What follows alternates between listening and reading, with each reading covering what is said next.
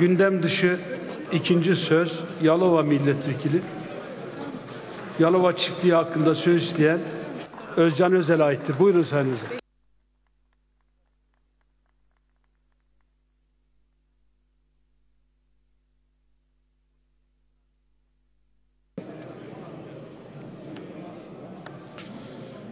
Sayın Başkan, değerli milletvekilleri, Yalova Millet Çiftliği üzerine yapılmak istenen Millet Bahçesi ile ilgili gündem dışı söz almış bulunuyorum.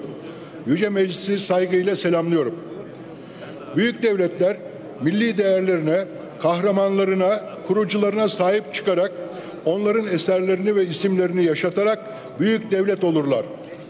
Milli kahramanlarını değerle, değersizleştirmeye çalışan bir siyasetin ülkemize, milletimize kazandıracağı bir şey yoktur. İktidarınızla birlikte milli mücadelemizin başkomutanı, ülkemizin kurucusu Mustafa Kemal Atatürk'ün adını stadyumlardan sildiniz. Mücadele arkadaşlarının isimlerini sildiniz. En son Mustafa Necati'nin yaşadığı evinden adını silip tabelaya Nuri Pakdil'in adını yazdınız. Mamak'ta bulunan okuldan Albay Reşat Çiğiltepe'nin adını sildiniz. Mustafa Necati genç yaşında vefat ettiğinde Atatürk'ün hıçkırıklarla ağladığı Milli Eğitim Bakanımızdır.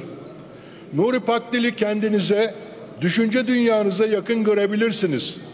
Adını da bir eserde yaşatmak isteyebilirsiniz.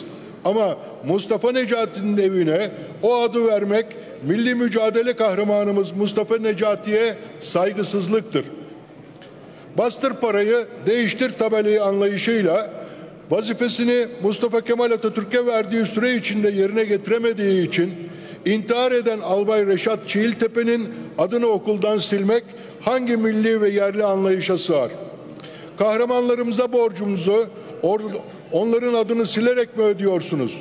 Sayın Başkan, değerli milletvekilleri, bu örneklere benzer bir süreç daha Yalova'da yaşanmaktadır. Yalova Atatürk'ün benim kentim dediği Cumhuriyet'in yazda, yazlık başkenti olan ilimizdir. Atatürk'ün Yalova'da kendi parasıyla satın alıp hazineye bağışladığı millet çiftliği bugünlerde millet bahçesi yapılmak istenmektedir. Atatürk 1929 yılında Yalova'ya geldiğinde parasıyla iki çiftlik satın aldı. Batıda olan Baltacı çiftliği doğudaki millet çiftliğidir.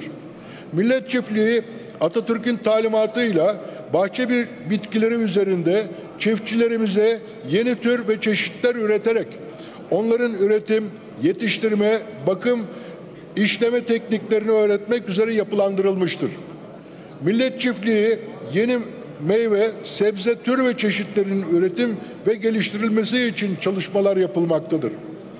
Yalova'nın kesme çiçek ve süs bitkilerinde merkez olmasının temelleri de o yıllarda atılmıştır. Millet Çiftliği 1961 yılında meyve, sebze ve süs bitkilerinin yetiştirilmesi, muhafazası ve işlenmesi konularında çalışmak üzere Yalova Atatürk Bahçe Kültürleri Merkez Araştırma Enstitüsü olarak faaliyetlerine devam etti. Enstitü Türkiye Sofralık Üzüm Araştırmalarının merkezidir. 10 yeni sayfa sofralık üzüm çeşidi araştırmaları burada yapılmıştır. Bu çeşitlerden birisi Atasarısı, diğeri Yalova incisidir. Millet bahçesi yapılmak istenen tarım arazisinde yürütülen çalışmaların bir diğeri kivi üzerine yapılan çalışmalardır. Bu arazi Yalova'yı ülkemizin kivi üretim lideri yapmıştır. Türkiye'deki kivi araştırmalarının yapıldığı ilk kivi bahçesi de buradadır ve ürün vermeye devam etmektedir. Buraya millet bahçesi, genel başkanınızın tabiriyle yatıp yuvarlanacağınız bir park yapmak istiyorsunuz. Tarım arazilerini imara açarak Türkiye'yi tarım ürünlerini ithal eden, milyarlarca doları yabancı ülkelerin çiftçilerine ödeyen bir ülke haline getirdiniz. Millet bahçesi yapmak için Yalova'da başka uygun yerler bulabilirsiniz. Ama sizin derdiniz başka.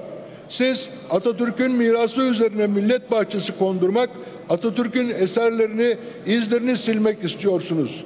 Size tavsiyem yol yakınken dönün. Burası birinci sınıf tarım arazisidir. 1989 yılında bu arazi başka amaçta kullanılmaya açılmak istenmiş, konuyu yargıya taşınmıştır. Danıştay 6. dairesi bu arazinin araştırma enstitüsünde kalmasına kamu yararı olduğuna karar vermiştir. Bu Danıştay kararı millet bahçesi yapma girişimi içinde emsal niteliğindedir.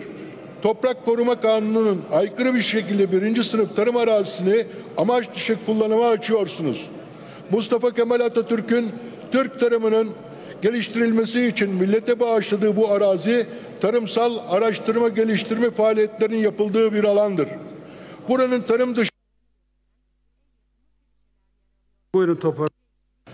Buranın tarım dışı amaçla kullanılması, millet bahçesine dönüştürülmesi, Atatürk'ün mirasına saygısızlık, Yalova'ya, Türkiye'ye ve Türk tarımına ihanettir. Yalova'ya, Türk tarımına bu kötülüğü yapmayın. Kek dağıtmak, yatıp yuvarlanmak için millet bahçesi yapacaksanız yine yapın ama başka yerlere yapın. Yüce Meclisi saygıyla selamlıyorum.